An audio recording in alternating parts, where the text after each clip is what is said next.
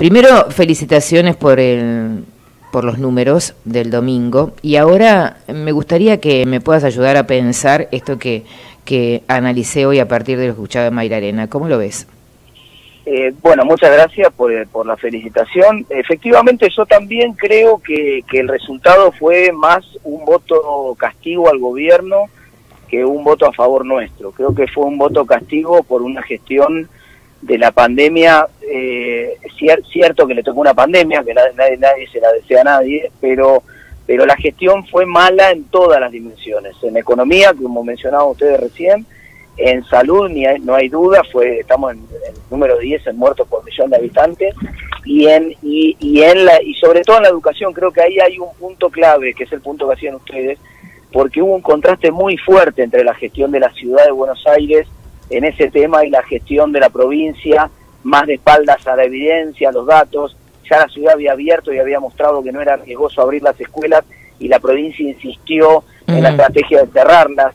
Esa, eso, eso caló muy hondo en la clase media y eso no se no se arregla tampoco ahora eh, con un con una tal vez eh, con un subsidio o con un IFE o con una o con una mejora en, en, en, la SAUH me parece que el, que, el tema de la educación penetró muy fuerte en la clase media y es parte del voto castigo que recibió el gobierno. ¿Cómo ven las medidas que se van a implementar hoy? ¿Tarde? ¿Cercanas? primero, primero quiero esperarlos, ¿no? Para Ver, eh, eh, quiero estar seguro para no, no, no quedar en offside comentando cosas que después nos salen, pero lo que trascendió hasta ahora, la, seguramente la información que tienen ustedes, lo que, lo que recogieron algunos medios, aparentemente eh, me parece que es subestimar el problema. El gobierno parece hacer una lectura que es, no, la gestión de la pandemia nuestra fue muy buena y la gestión de la economía no se entendió. O la gente no la entendió o nos quedamos cortos y entonces ahora lo vamos a arreglar eh, repartiendo un poco más, poniendo un poco más de pesos en el bolsillo de la gente, podría ser la figura para, para simplificar. Me, me parece que esa es una visión equivocada porque dos de los tres problemas del voto castigo, que son la gestión sanitaria y la gestión de las escuelas, no hay ninguna respuesta. Además, en la provincia, de hecho, uno de los candidatos es la cabeza visible de la gestión de la pandemia. Entonces, eso me parece que estratégicamente fue el gran error del gran error del gobierno y el y, en segundo lugar eh, está por verse si, si, si para compensar el, mal manejo de la economía alcanza ahora con repartir un poco de plata en primer lugar y en segundo lugar si tienen esa plata para hacerlo si lo van a imprimir de dónde va a salir y qué impacto va a tener después de la elección en términos de inflación o de más dólares. ¿no? Bueno, eh, hace mm, anoche en el programa de Ver COVID em, estuvo el director del Banco Nación, eh, Lozano, economista también, eh, colega tuyo, eh, y planteaba que posiblemente este 1% del PBI, un punto de PBI que dicen que van a poner de inyección en la calle, hasta inclusive por decreto un, un aumento salarial, hay que ver qué dice en este sentido también las empresas. Eh, eh, dice, bueno, para que no vaya a, la guita quizás a lo mejor a una inflación, quizás a lo mejor para un tema del dólar, como un tipo bono, ¿cómo lo viste eso? ¿Un bono, una forma especial? No sé, un Lo que pasa es que lo que, lo que planteó Lozano es que fuera una moneda no convertible al dólar, ¿no? Y en realidad eso es exactamente lo que pasa hoy con el peso argentino. Si el peso argentino para la inmensa mayoría de la sociedad no es convertible al dólar, ya no se puede ni siquiera comprar los 200 dólares que podías el, eh, que podías hacer el año eh, el año pasado hasta septiembre. Entonces, evidentemente ya es inconvertible la moneda y, y, endurecer un poco más eso sería endurecer más que tampoco sea convertible ni siquiera para las empresas, para comprar insumos eh, importados o para, o, para importar bienes, digamos, sería, sería endurecer un poco más el cepo que ya tenemos. Es probable que vayamos haciendo endurecimiento del cepo, sobre todo si el gobierno plantea emitir mucho más de acá en los próximos dos meses. Claramente, para que no rebalse eso, va a tener que endurecer más el cepo, eso es muy probable que, lo veamos en los próximos meses. Eh, Martín, vamos un poquito a la política. Eh, hasta el propio Milei dijo anoche eh, que bueno, que no ganó eh, la reta y que la eh, que no ganó Vidal, el gran perdedor era la reta, y no solamente eso, sino que él consideraba una mirada muy fuerte a este a considerar a comenzar a mirar al radicalismo de otra manera. ¿Coincidís, sí o no, viendo un Manes que ha tenido una respuesta importante en la provincia de Buenos Aires eh, y un Lustó que dicen que también, en cierta manera, viene como jugando y armando un espacio que deseaba hace tiempo que el radicalismo lo tenga? Está claro que el radicalismo se fortaleció, pero lo que también es cierto es que con el fortalecimiento del radicalismo y la ampliación del espacio de Cambiemos a los sectores un poco más liberales, como por ejemplo lo de López Murphy en la ciudad, Juntos por el Cambio es mucho más potente que antes. Digamos. Yo no, no coincido con Javier en, que sea una derrota de la reta, ni mucho menos. Las, las dos apuestas de la reta eh, de, jugar con Santilli en la provincia y Vidal en la ciudad, evidentemente pagaron. Entonces, eso quedó saldado, ese debate. Juntos por el Cambio, y Juntos por el Cambio fue dentro de ese voto opositor masivo, que yo creo que fue un voto castigo, el voto de la elección, insisto, no fue un voto a favor nuestro, fue un voto en contra del gobierno, pero lo que es cierto es que cuando, cuando la gente decidió castigar al gobierno, se dio vuelta después a mirar quién era el que mejor representaba esa, ese sentimiento de oposición y nos eligió a nosotros como el, como el partido de oposición más importante para canalizar esa bronca. También es verdad que una parte de esos votos, sobre todo en el sur de la ciudad de Buenos Aires, que eran votos del kirchnerismo en la elección del 2019, en esta elección se fueron a Milei. ¿Por qué? Tiene lógica, porque es el votante que, que votó al kirchnerismo pero que no quiere quiere castigar al kirchnerismo porque sabe que la gestión fue mala y lo quiere castigar al gobierno, pero no quiere premiar a Cambiemos porque no está de acuerdo con Cambiemos, es un voto ideológicamente opuesto al voto de Cambiemos. Entonces, esa gente representa la, bronca, dijo, bueno, ¿dónde la canalizó? Algunos a izquierda, otros a derecha. ¿Y en noviembre qué pasará? ¿Y en noviembre? Yo creo que en noviembre tanto la izquierda como la derecha van a perder una parte de ese voto catárquico, que si el gobierno que si el gobierno es inteligente en hacer un planteo de reconocimiento de que se equivocó, de que tiene que cambiar el rumbo, de que entiende el, reclamo de la gente y el voto castigo, algo de ese voto catárquico que hoy se, que se fue o a, mi ley o a la izquierda lo va a recuperar, algo de ese voto. Y al mismo tiempo, a favor nuestro juega que en noviembre va a votar mucha más gente que no votó. Sí, votó poquísima gente. Bueno, entonces eso, eso en general nosotros nos, nos favorece. Vamos a ver si, si se vuelve a repetir en esta oportunidad yo creo que eso, más los votantes del exterior, que también suman eh, suman un poco más, eso no, son dos datos que nos favorecen a nosotros. eh, Martín, ahora vamos a imaginarnos el escenario eh, 2022. Ya estás en el Congreso. Y algunos de los proyectos que decía María Eugenia Vidal era, por ejemplo, el 50% del salario mínimo vital y móvil para el primer empleo, ¿no? Estamos hablando de que eh, ya prácticamente tenemos un 20% de la población que es eh, centennial, con lo cual ya en breve salen a buscar un laburo. Eh, ¿Cómo te ves votando y debatiendo esas leyes? Está bien, pero hubo una confusión en el planteo ese que ah. pasa por, por, una entrevista que le hicieron y la, editaron, alguien la editó con mala leche. Ah. Porque la propuesta eh, que nosotros la contábamos, está publicada, fue muy clara, es que para reinsertar a la gente que está hoy cobrando alguno de los planes potenciar trabajo, son un millón de personas, y hay 20% que son jóvenes, menores de 30 años, para reinsertar en el empleo a esos jóvenes, la propuesta era que el Estado complementara el pago de salario que hacía la empresa, haciendo no solamente descuento de impuestos para la empresa en los dos primeros años de contratado a esa persona, sino aportando medio salario mínimo más, arriba del salario que ponía la empresa.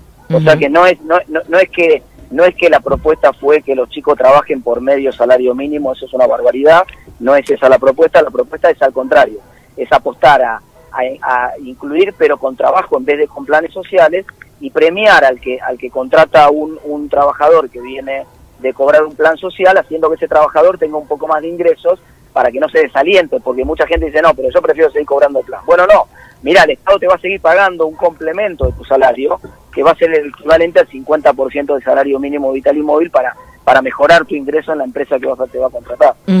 El otro de los puntos es, este, obviamente, el porcentaje de la población tan alta ¿eh? este, que tenemos eh, en lugares en donde antes era inviable pensar que se tenía que elegir entre la escuela privada o eh, la prepaga, y digo, bueno, me quedo con la prepaga y por lo menos al pibe lo mando a la escuela pública. y en la provincia de Buenos Aires una escuela pública que está bastante complejo en este sentido a la hora de que la población se sienta cómoda y acompañada. Con respecto a educación, uno de los temas es que en su momento propio Cambiemos decía, tenemos que reformular todo lo que tiene que ver con el tema de licencias. Y también una María Eugenia Vidal que no le fue muy bien en la provincia de Buenos Aires con los docentes. ¿Qué hay al respecto? ¿Cuál es la mirada de aquí en adelante con respecto al tema de educación de Cambiemos cuando estén en el Congreso? Sí, María Eugenia hizo de hecho una autocrítica respecto de esa tensión que había tenido con el sector docente que, la, había llevado a un extremo que no era no, no era conveniente y había repercutido en pérdida de vida de clases que no que era un lujo que no nos podíamos dar y, me parece que fue atinada la autocrítica. dicho, dicho eso, el, el rumbo que se está haciendo en la ciudad de Buenos Aires y que empezó María Eugenia en la provincia de poner programación, por ejemplo, de manera obligatoria e inglés desde primer grado en las escuelas primarias públicas, es el rumbo correcto. Lo que tenemos que hacer es convertir a la escuela pública en la mejor escuela y en la mejor opción para igualar oportunidades en Argentina, mejorando la calidad de lo que pasa dentro de la escuela. No, eh, em, no, eh, yo no estoy contento con que la gente, el, el, argumento ese de, bueno, pero se van a la escuela privada porque pueden pagarla. Porque eso quiere decir, es como el argumento de considerar a la escuela pública una Manaus, ¿viste? Sí, exactamente. No puedo, tomar Coca-Cola, tomo, compro Manaus. En este sentido, el tema de un docente que reclama que siempre estuvo corrido de todo lo que tuvo que ver con un buen salario. Eh, un Estado recontra chiquitito a la hora de poder invertir, un presupuesto que en breve este, van a tener que ver y rever de aquí en adelante. La educación para ustedes, ¿cuál va a ser? ¿De qué lugar va a tener como, como debate en el Congreso cuando se debata algo que tenga que ver con un...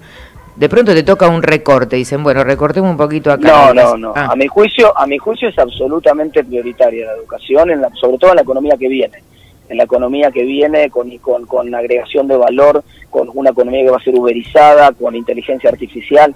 El desarrollo de la educación es fundamental. Pero, pero dicho eso, yo soy muy crítico de cómo funciona la educación en el mundo en general y en particular en Argentina. Eh, fracasa como modelo, es un modelo viejo de la vieja revolución industrial que ya no existe más. Es una línea de montaje la educación, si la mirás, donde pasás por primer grado, te incorporan una serie de contenidos es la línea de montaje de Chaplin y, y del tiempo moderno, ¿viste? Sí, es cierto. Y, te, evalúan la calidad cuando terminas primer año a ver si la calidad está bien y te pasan a la, segunda, la segunda línea de montaje donde te agregan contenido en segundo grado si no volvés a la primera etapa de la línea de montaje. Ese modelo educativo de la revolución industrial en el mundo está perimido. No va más y hay que mirar hacia adelante una nueva forma de la educación. Dicho eso, vuelvo a la Argentina ahora, tenemos un problema adicional. Encima nosotros gestionamos mal un modelo que está viejo entonces te pongo un ejemplo, que es notable. Cuando vos mirás lo que pasó en términos presupuestarios, en los últimos 30 años en Argentina, se duplicó el presupuesto educativo y el presupuesto de salud como porcentaje del PBI. Se duplicó en Argentina. O sea que no es un problema de recursos. No, no pero eh, eh, Martín, en la gestión de no, en la gestión de Mauricio Macri, la educación eh, se redujo el presupuesto.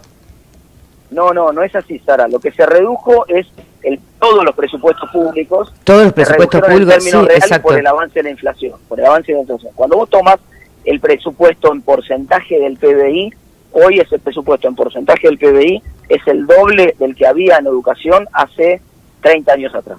Entonces, en, en, por supuesto, las crisis las crisis transitoriamente bajan, el, presupuesto pasó en el 2014, en la crisis del, del, del, kirchnerismo en 2014 también, y está pasando ahora también. Uh miras ahora, el, gasto en educación en las universidades nacionales corre muy por detrás de la, de la inflación, por ejemplo.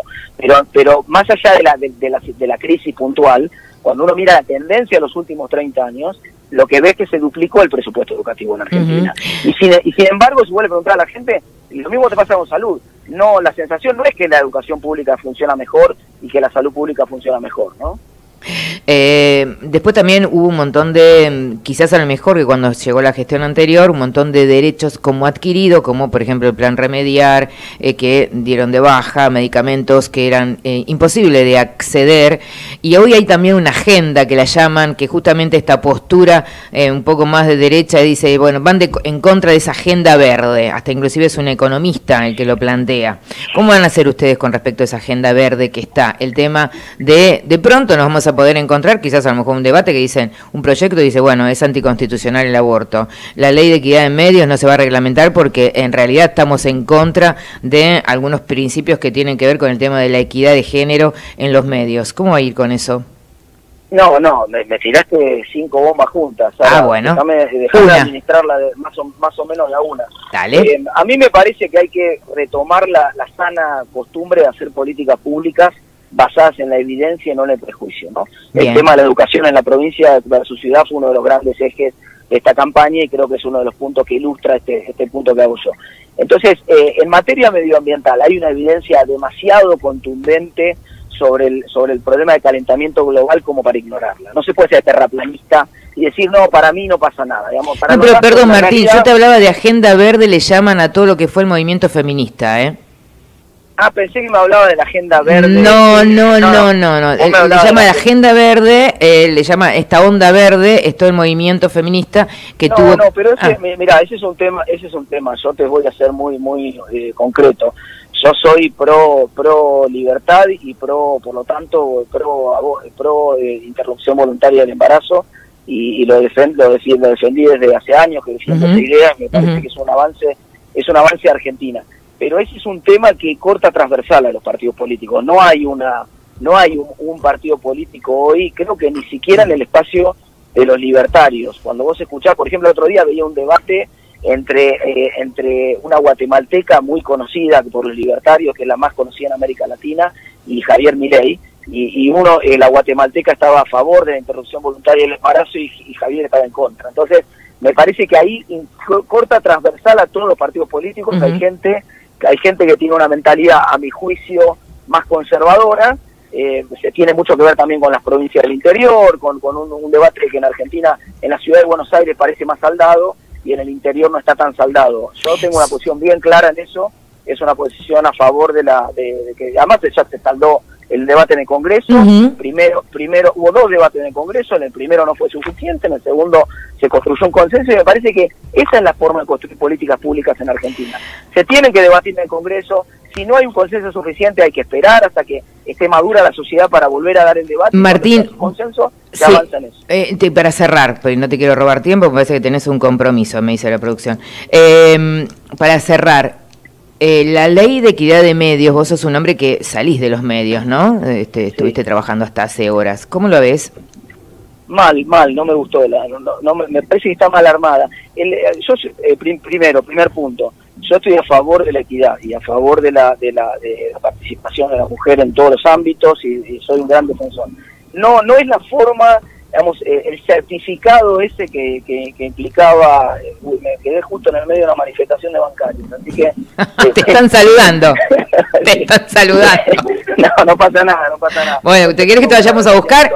Pero no, no, te cierro, te cierro la idea. Fue em, el, el modo en que se, en que se, se, se otorga ese, ese certificado puede permitir que vos, aún discriminando masivamente dentro de tu ámbito laboral, seas certificado como, como, que, como que tu empresa o tu, o tu, o tu organismo respeta la equidad de género, porque te pedía tres una lista de creo que eran ocho o siete, no me acuerdo exactamente ahora, cuestiones. Por ejemplo, vos podías hacer un curso de equidad de género, podías tener, eh, no sé, dos o tres eh, em, eh, medidas que eran menores y eso pesaba exactamente igual que si vos no no es así ¿eh? discriminabas en salario. no es así Martín. Sí, así es en la ley no no porque fui parte también de eso. No no no no es así. En realidad eh, es, es un acompañamiento en un proceso en los medios y por ejemplo de la misma manera que en los medios para que te paute la provincia de Buenos Aires tenés que presentar un certificado por ejemplo de no ser deudor moroso eh, en, en, tema, en temas este, que tiene que ver con la cuota familiar y la responsabilidad con respecto al a, compromisos parentales. Eh, acá es un proceso, ¿sí? Eh, lo que acompaña la ley es el tema de que, y además se va a dar primero en los medios oficiales, no es un tema de los medios privados. El criterio de certificación es como te lo estoy contando yo. El criterio de certificación no. tenés que cumplir con tres, al, sí, sí, tenés que cumplir al menos con tres de una lista de 7, 8. no, no, te juro, te juro que no. después lo, no, después lo, la ley en la mano, después lo charlamos. Ahí está. Me comprometo a hacer una, una salida nuevamente con vos eh, mañana, pasado o algún día más, eh, mirando la ley en la mano. Estoy seguro porque lo discutí en su momento eh, con la compañera de, de, Santoro en la lista, con Gisela Marciota, al aire en Gisela lo, planteó de un, desde un lugar que fue incorrecto.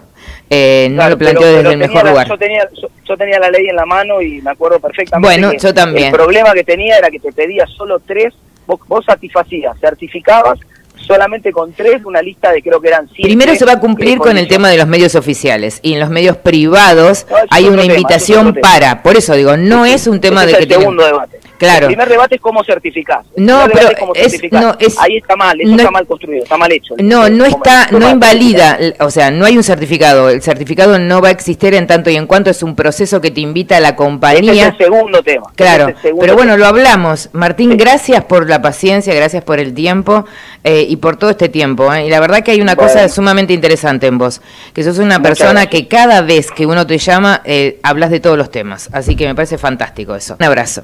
Ahí hablamos con, ahí hablamos con, con Martín Tetaz.